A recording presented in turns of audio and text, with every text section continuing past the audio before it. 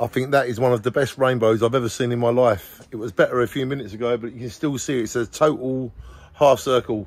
Shine onto the rainbow in Jaywick, because Jaywick is a rainbow all year. We love everybody, we love rainbows, and we love Jaywick.